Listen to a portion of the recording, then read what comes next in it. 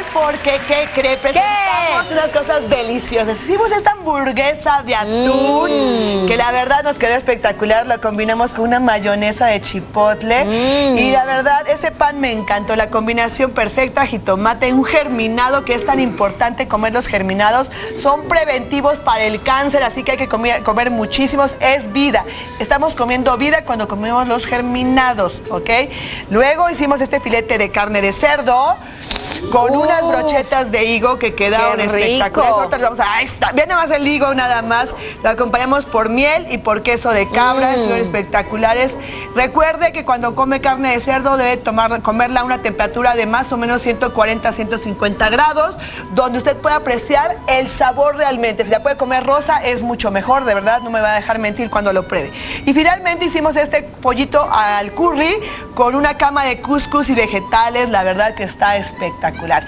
Y hablamos de un tema muy, pero muy interesante que fue el alcoholímetro con mi querido Lick. Así querido- es. Exactamente, yo digo Lick. Marco Sí, Aurelio, está bueno, bien, está Ya es parte de la familia, ya es amigo.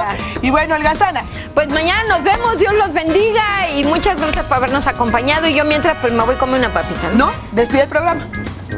Ay, Dios los bendiga, nos vemos mañana, me voy a comer la Que no, papita. que de despedirlo, te Ah, la bueno, comes. entonces, este, Manny Muñoz, ¿algo que quieras decir? Un excelente día. Nos vemos mañana a las 11 de la mañana aquí en ¡Cocinamos juntos!